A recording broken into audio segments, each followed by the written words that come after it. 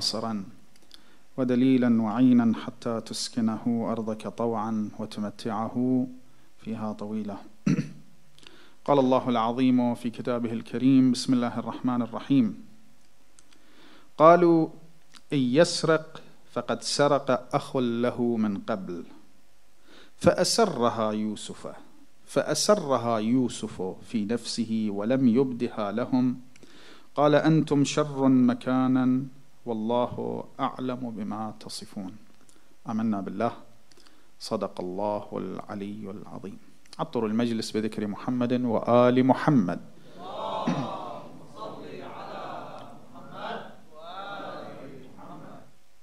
هناك شباهات عديدة بين مولانا الإمام الحسن المجتبى سلام الله عليه ويوسف الصديق النبي الذي ظلم من قبل أهله وإخوته وطرد وحتى أرادوا أن يقتلوه إلا أن الله سبحانه وتعالى أنجاه ومكنه في الأرض وجعله عزيز مصر وجعل أولئك الذين أرادوا أن يضروه تحت يديه حتى أولت رؤياه.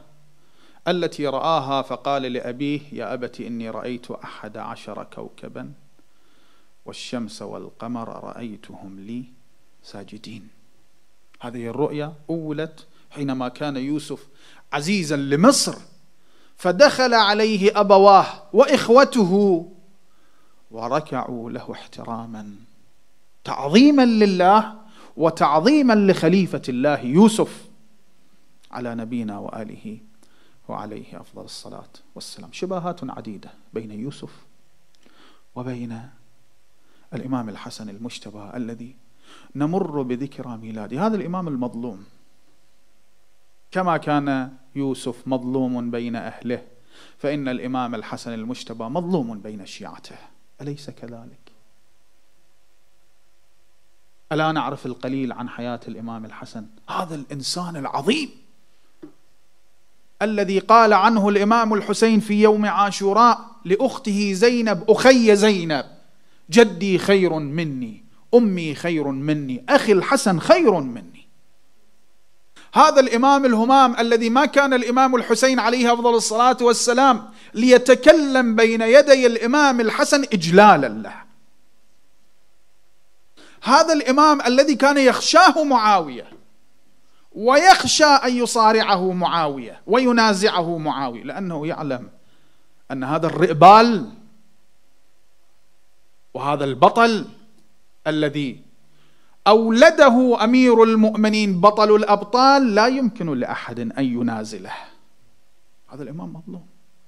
وإلى يومنا هذا يجب على العلماء وعلى الخطباء وعلى الكتاب وعلى المثقفين دائما أن يرتقوا المنابر ويكتبوا ويدافعوا عن مظلومية الإمام الحسن المجتبى ويدافعوا عن صلح الإمام الحسن ويدافعوا عن غيرة الإمام الحسن وشجاعة الإمام الحسن وعفة الإمام الحسن في كل يوم وفي كل آن وفي كل ساعة لماذا؟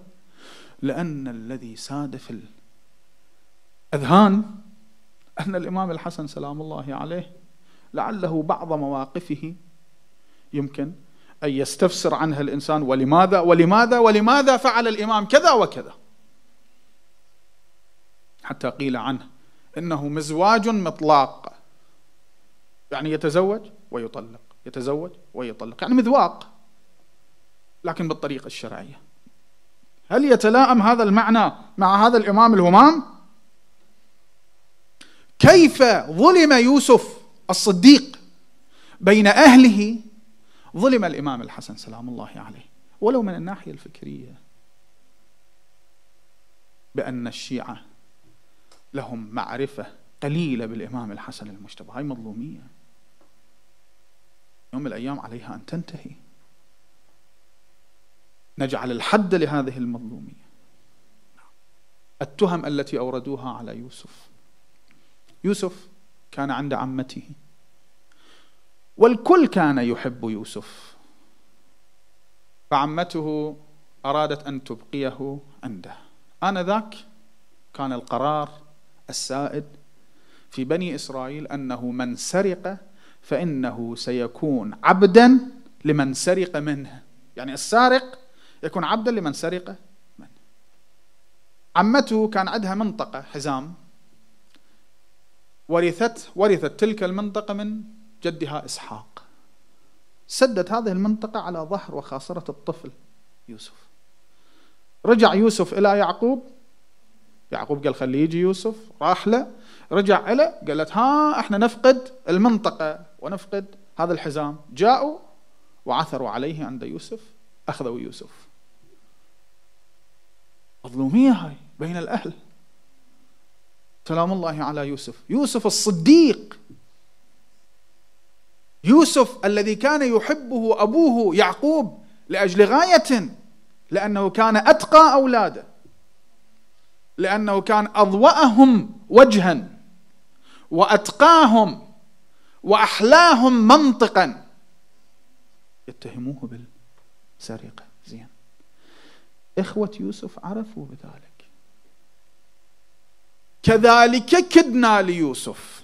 ما كان ليأخذ, ليأخذ أخاه في دين الملك. في قانون مصر الذي يسرق لا يكون عبدا لمن سرق منه. لكن الله سبحانه وتعالى كاد ليوسف كي يبقي معه أخاه بنيامين. فجعلوا صواع الملك في رحل بنيامين. قالوا نفقد صواع الملك. أيتها العير إنكم لسارقون. وقفوا العير. بحثوا فبدأ بأوعيتهم قبل وعاء أخيه حتى وصل هذا هو صواع الملك. بس طلعوا من كيس بنيامين وكان بنيامين أخ ليوسف من أبيه وأمه. شافوا إخوة يوسف وهم يعلمون كذب عمتهم. كان عندهم علم. لكن هنا ماذا فعلوا؟ قالوا إن يسرق قالوا إن يسرق فقد سرق أخ له من قبل. اتهموا يوسف بالسرقة مع أنه يعلمون أن يوسف ما سرق. ها هذا سرق هذا مثل أخوه. أخوه هسه ما سارق. أنتم الذين سرقتم يوسف من أبيه. تتهمون يوسف بالسرقة؟ فأسرها في نفسه. يعني تدري هاي إيش قد أذى يوسف؟ فأسرها في نفسه. اللي الله يذكر هذه المسألة. ومبين أن يوسف تألم من هذه الكلمة. فأسرها يوسف في نفسه ولم يبدها. تأكيد. أسرها لم يبدها. يعني بقاها بقلبه. إيش قد يحترق؟ ولم يبدها لهم. قال أنتم شر مكانا. والله أعلم بما تصفون. وين يوسف حتى يدافع عن نفسه؟ تتهموه ليش جايبين قضية يوسف في هذه القضية هنا على حسب الظاهر لا أحد يعرف يوسف.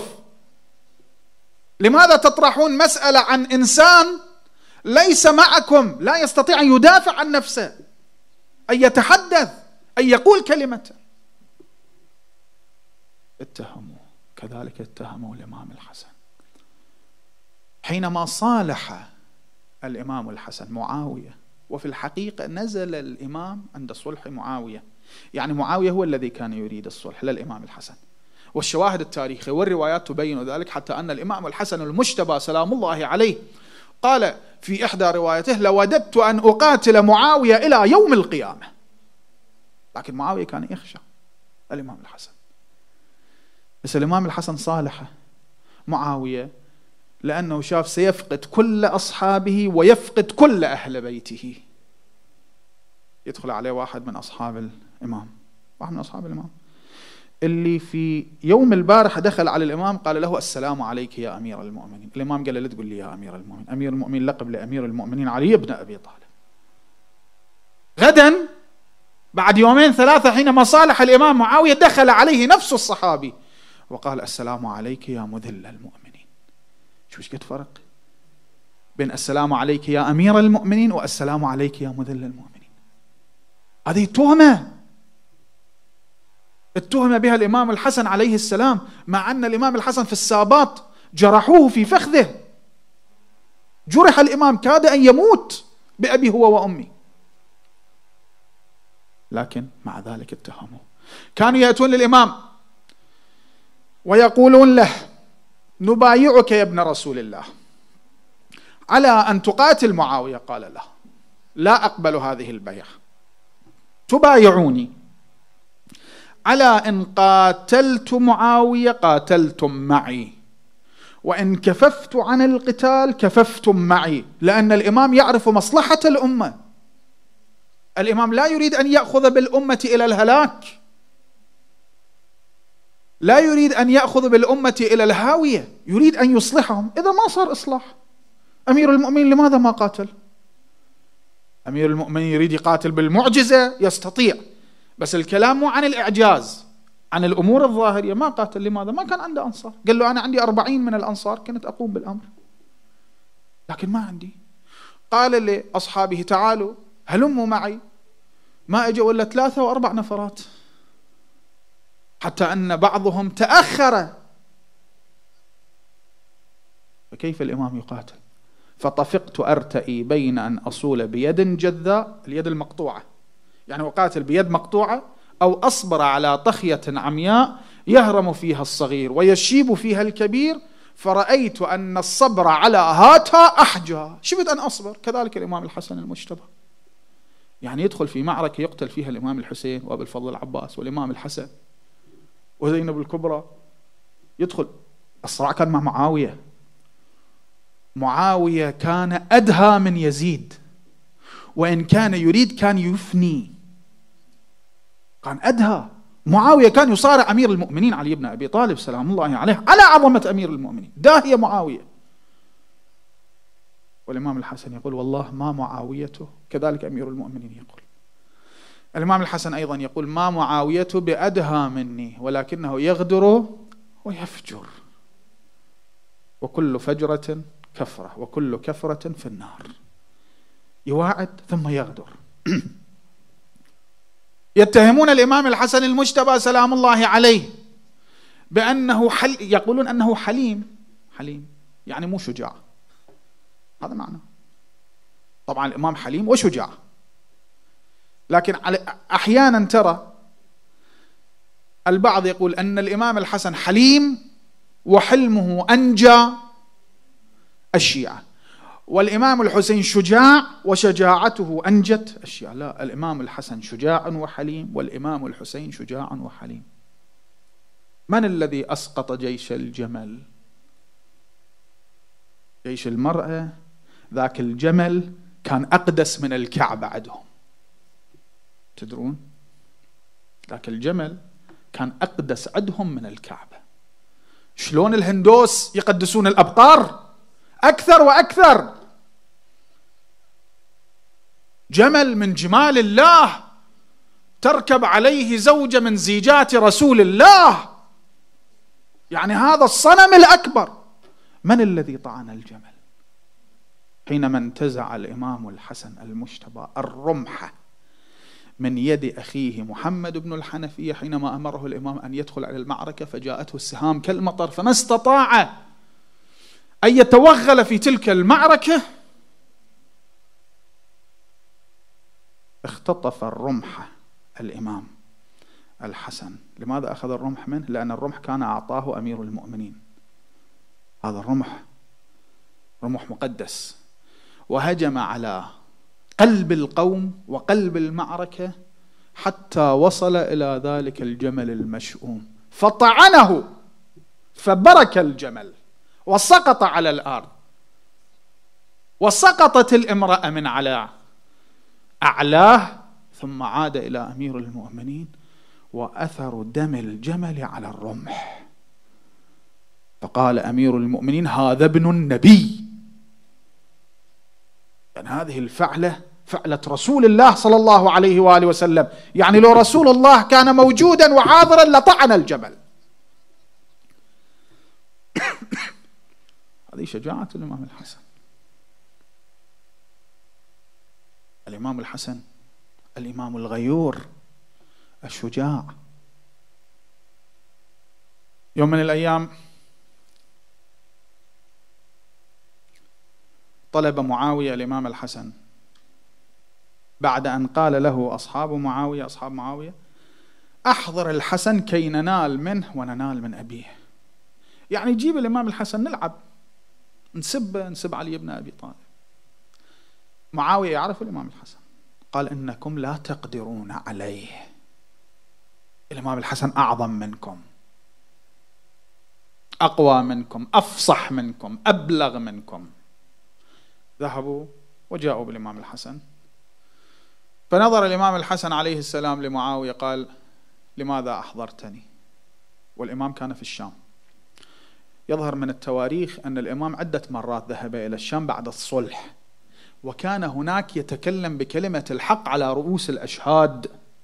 يعني الآن مع الإمام الحسن في قصر معاوية. ومن جالس في قصر معاوية؟ مجموعة همج رعاع ما سمعوا ذكر علي عليه السلام بالخير وما سمعوا على المنابر إلا سب ولعن علي بن أبي طالب. سلام الله عليه. صحيح لو لا؟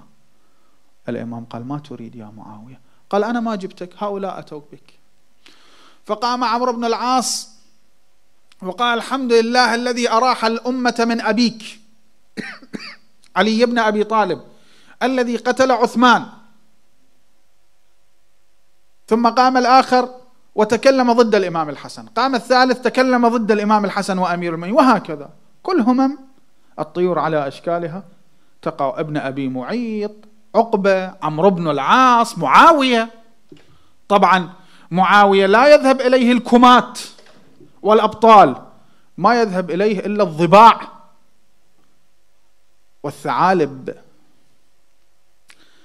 فنظر الإمام الحسن إلى معاوية قال منك أبدأ يا معاوية. فإن جرأة القوم من جرأتك. قال أما أنت يا معاوية فقد أسلم أبي وكنت تعبد الأصنام. وبيد أبي لواء الإسلام وبيدك لواء الشرك. في المعارك بدر أحد. وأبي أول من آمن وأبوك أبو سفيان شيخ المؤلبين على قلب رسول الله. ثم يا معاوية ألا تذكر أن رسول الله بعث إليك لتكتب؟ فقال الرسول الذي بعثه النبي الأكرم أن معاوية يأكل ثم أعاد عليك البعث قال يأكل. ثالثة قال يأكل. فقال رسول الله اللهم لا تشبع له بطنا ألا تجد هذا من نفسك؟ معاوية كان يأكل يأكل ما يشبع يقول تعبت ولم أشبع. تاريخ يذكر ذلك. ثم قال له أولا تذكر يا معاوية كنت تقود جمل أبي سفيان فرآك رسول الله. فقال لعن الله الراكب والقائد والمقود. ثم توجه إلى عمرو بن العاص. قال يا عمرو بن العاص تنازع عليك خمسة من العرب. فألحقت بألأمهم نسبا. خمسة قال له هم آبائك. ما ألحقوك إلا بألأمهم نسبا. من حيث علم القافة. يعني يقولون هذا يشبه فلان. أكو علم علم حرام هو يعني مو حجة. بس العرب كانوا يهتمون بهذا العلم. ألحقك بألأمهم نسبا. ثم هجوت رسول الله بعجرة أبيات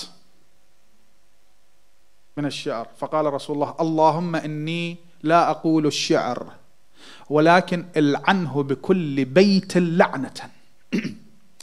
ثم قلت إن رسول الله هو الأبتر فأنزل الله سبحانه وتعالى سورة الكوثر. بسم الله الرحمن الرحيم. إنا أعطيناك الكوثر فصلي لربك وانحر إن شانئك هو الأبتر. أنت الأبتر يا عمرو بن العاص ورسول الله. ثم توجه إلى الثالث وتوجه إلى الرابع. واحد قال يا إمام الحسن أنا لولا أن الناس قتلوا أباك لقتلت أباك. الإمام قال له صدق. أنت يعني هل قد عندك شجاعة تجرأ تجرد السيف؟ مو أنت رئيسكم عمرو بن العاص دخل للمعركة بدون الباس. أمير المؤمنين يذكر ذلك في نهج البلاغة. ما أنجته إلا عورته. قد أنت جاي تهددنا؟ ثم قام ونفض عباءته مع أنه كان وحيدا وخرج. من الشجاعة؟ أليست هذه شجاعة كلمة حق أمام سلطان جائر وهو معاوية؟ قد يغضب في كل لحظة وأي لحظة. وبحسب الظاهر ينال من الإمام الحسن. أليس هذا شجاعة؟ أليست هذه شجاعة؟ شجاعة معركة وشجاعة كلمة. الإمام الحسن شجاع. والله معاوية بحسب التاريخ لا أتحدث عن المعتقد الذي في صدري فقط بحسب التاريخ حينما نعود إلى التاريخ التاريخ المروي في كتبنا والتاريخ المروي في كتب غير مذهبنا كتب العامة. نرى آثار الخوف من كلمات معاوية ورسائله من مواجهة الإمام الحسن المجتبى. كان يخشى المواجهة. لذا شنو كان يسوي؟ كان يدز فلوس. دراهم ودنانير للنفوس الضعيفة يشتريهم. واحد ورا الثاني واحد ورا الثاني. الآن يبقون ثلة قليلة. يقول زين هسه فتنة بعد. كم نفر يروحون يقول لا نزاع بين المسلمين من ريدة. لا يبقى مع الإمام الحسن إلا ثلاث أربع نفرات وأهل بيته هذا مو صراع عادل هذا مو نزاع عادل لماذا قاتل الإمام الحسين عليه السلام اذا؟ الإمام الحسين الإمام الحسن ما قاتل، الإمام الحسين قاتل، لأن الإمام الحسين أيضا ما كان يريد يقاتل. قال أكره أن أبدأهم بقتال، لكن حينما بدأوا للقتال صمد. هنا أيضا إذا كان معاوية يبدأ القتال مع الإمام الحسن، الإمام الحسن كان يصمت حتى يموت. الصمود أمام العدو كما يقول مولانا أمير المؤمنين لولده الإمام الحسن المجتبى يا بني لا تدعون له إلى معركة. فإذا دعيت فأجب. لا تروح تقول هل من مبارز. لكن إذا واحد قال لك هل من مبارز روح لا تخاف. أن الأعمار بيد الله سبحانه وتعالى. هذه شجاعة الإمام الحسن المجتبى. بعد من التهم التي أوردوها على يوسف وراودته التي هو في بيتها. عن نفسه وغلقت الأبواب وقالت هيت لك. قال معاذ الله إنه ربي أحسن مثواي. إنه لا يفلح الظالمون ولقد همت به وهم بها لولا أن رأى برهان ربه.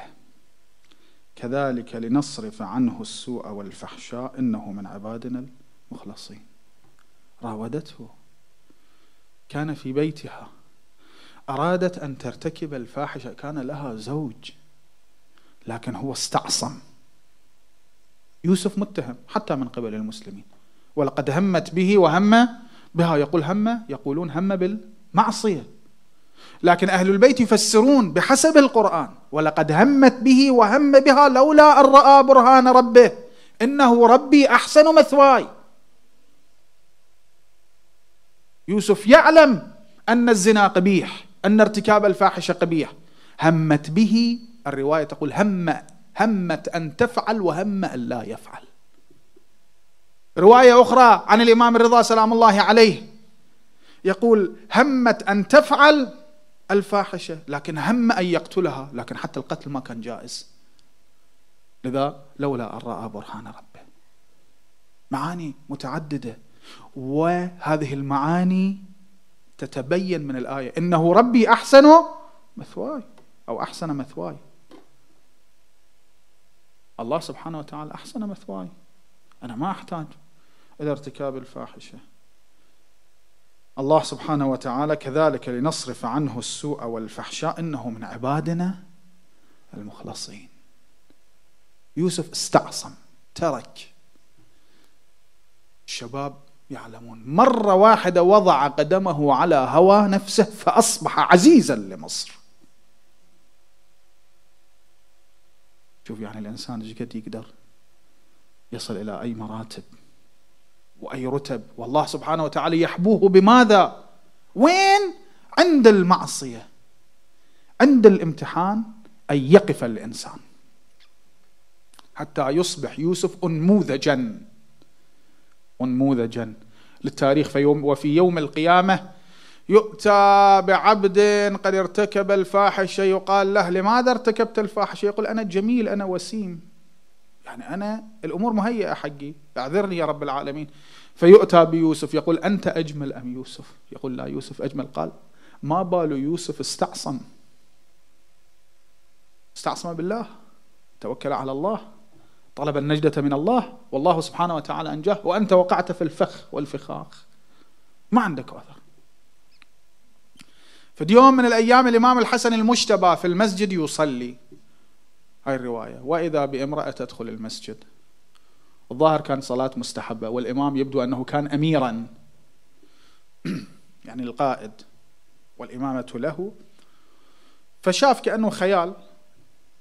أسرع في الصلاة ثم قام قال ما حاجتك يا أختي؟ عبالة عندها حاجة فقيرة. قالت حاجتي أنت. فجلس الإمام وأجهش بالبكاء. أنا ما أدري الإمام شلون بكى. حتى أن هذه المرأة تابت. نفس اللحظة في المسجد.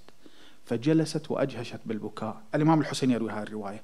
يقول دخلت المسجد فرأيت الإمام الحسن يبكي وامرأة تبكي عنده.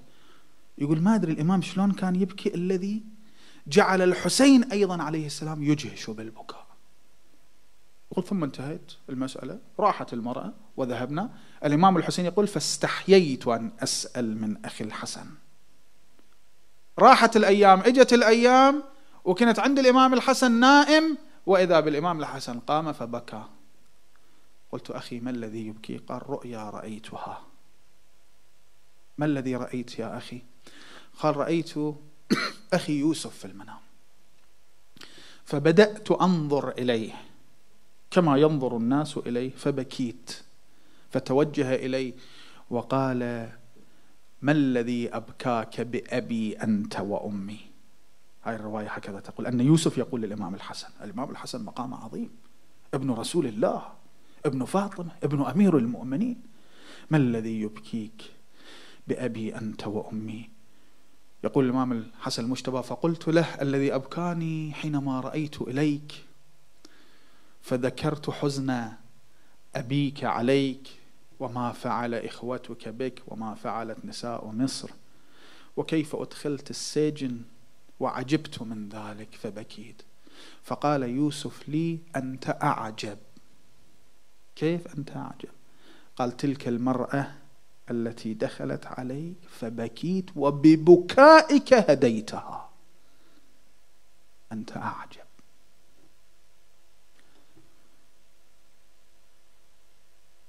فإني تحيرت والله بين حسن الحسن وحسن يوسف. أيهما أحسن؟ الإمام الحسن سلام الله عليه. شبيه يوسف ابن يعقوب. الإمام الحسن سلام الله عليه. كما كان يوسف من المحسنين الإمام الحسن أيضا من المحسنين. كما كان يوسف من المستعصمين الإمام الحسن من المستعصمين. كما اتهموا يوسف فبرأه الله. كذلك اتهموا الإمام الحسن المجتبى فبرأه الله ورسوله. الحسن والحسين إمامان قاما أو قعدا الرواية تقول في تفسير قوله تعالى أنهم قالوا ليوسف إنا نراك من المحسنين. يقول الإمام الصادق كان يقوم على المريض. ويلتمس المحتاج ويوسع على المحبوس. يوسف إذا يشوف واحد مريض يروح له يزور له يودي له أدوية. إذا يشوف واحد محتاج يساعده. إذا يشوف واحد محبوس حتى لو كان ظالم يقول وسعوا عليه أعطوه أكل خلوه يطلع بالشمس. صح هو مو خوش إنسان لكن نحن ناس ولنا إنسانية. وهذا إنسان عنده فد كرامة إنسانية كرموه. الإمام الحسن المجتبى يدخل على مسجد رسول الله شخص من أهل الشام. أين الحسن؟ فيشار بالبنان إلى الإمام الحسن. يذهب إلى الإمام الحسن المجتبى. أنت الحسن؟ نعم. أبوك أمير المؤمنين؟ علي بن أبي طالب؟ قال نعم. فبدأ بسب علي وسبه الحسن وسب فاطمة. انتهى من الكلام. الإمام بين جماعته والسيوف بأيديهم. نظر إليه. قال من أين أنت؟ من الشام؟ قال نعم. قال إن كنت غريبا آويناك إن كنت جائعا أشبعناك. إن كنت عطشانا سقيناك. إن كنت عريانا كسوناك. ما عندك عشيرة تعال إحنا عشيرتك. نكتب, نكتب اسمك في عشيرة بني هاشم. شو تريد بعد؟ يعني ندافع عنك كما ندافع عن أحدنا. فبقي الرجل مبهوتا.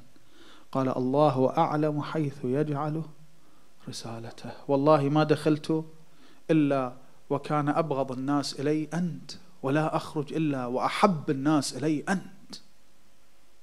إنا الله يقول إنا نراك من المحسنين. الإمام الحسن عليه السلام من المحسنين. كريم أهل البيت. حليم شجاع كريم. وقد ذكره يوسف في الجب. هبط جبرائيل على يوسف ويوسف كان في الجب. قال يا يوسف ما تريد؟ قال لا أريد إلا ما أراده إله إسحاق وإبراهيم ويعقوب. فقال جبرائيل إن إله إسحاق وإبراهيم ويعقوب يقول يا يوسف قل. ماذا أقول؟ اقرأ هذا الدعاء. اللهم إني أسألك بأن لك الحمد كله. لا إله إلا أنت الحنان المنان بديع السماوات والأرض ذو الجلال والإكرام. صل على محمد وآل محمد.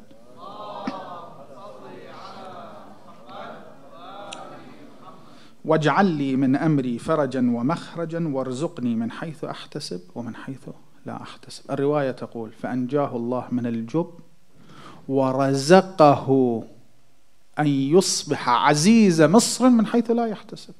يعني أكثر ما كان يتصور يوسف أن يعود إلى أبيه.